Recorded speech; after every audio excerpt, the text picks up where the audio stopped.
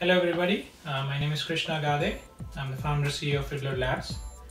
We are an explainable AI startup in the Bay Area. Um, we've been around for a couple of years. Uh, uh, before starting the company, I was an engineering lead at Facebook, uh, where I was working on explainable AI for newsfeed.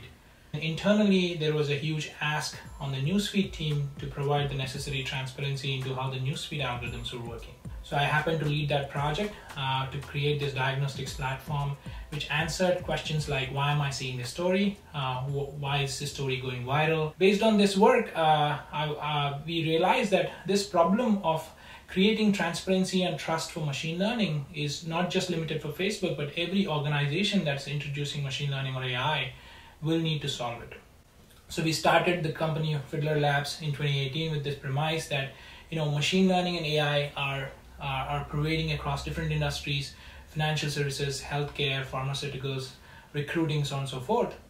And especially in industries where the risk of actually doing uh, harmful decisions using AI is quite high. So, and, and fundamentally, the need for explainability arises from human need to trust something, right? As humans, uh, we have been able to scale, uh, you know, uh, as a species uh, so so so much because we are able to, you know, scale our trust. You know, now as machine learning and AI pervade our worlds and they take over certain decisions that that have been being made by humans before. For example, am I am I eligible for this mortgage interest rate? As more and more decisions will become AI assisted or augmented then there will be a need for, uh, for us to actually ask the system, you know, why is it deciding the way it is deciding? And so this whole uh, sort of uh, concept of responsible usage of AI is emerging where, you know, as customers, we want to hold organizations accountable. And one of the important aspects of uh, responsible AI is uh, how do we measure bias? How do we keep track of bias? How do we make sure that, you know, the, uh, the, the models are not performing in a biased manner?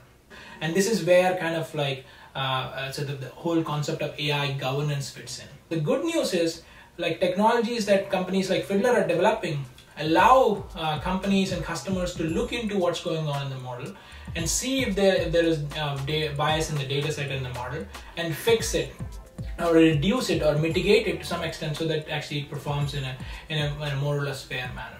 So I'll take an example to kind of land this um, in a more concrete way. So for example, let's say there's a financial services company that wants to use machine learning to approve or disapprove loans.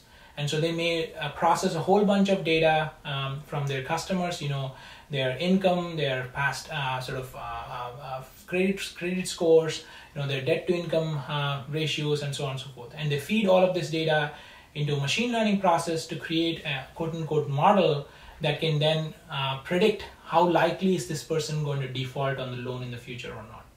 Now, the problem with this is the more complex the machine learning model, the more difficult it is uh, for the companies to uh, kind of uh, answer the question, why did the model predict it the way it did?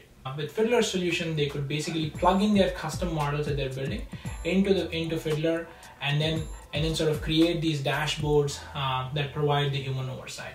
Another problem with machine learning today is when machine learning models need to be deployed, uh, there is there is essentially this concept of uh, decay in model performance. Because the model uh, decisions are dependent on the data it is receiving. Uh, there could be changes in the data, like for example, there could be seasonality changes, like all of a sudden, maybe uh, higher income bracket people started applying for loans, and so in those cases, it's it's very important for the companies to you know have this uh, visibility into how the models are performing when they're deployed. And so so that's where this concept of machine learning model monitoring becomes important uh, where you're monitoring these models continuously uh, for whether they're performing uh, in a consistent manner or not uh, and then also in a uh, in, in an unbiased manner. So fiddler can help these organizations uh, by providing the necessary tools both to the practitioner who is building the models and also the other stakeholders in the company the customer support teams the risk teams that are out there to you know answer questions for the customers or validate these models uh, and continuously monitor these models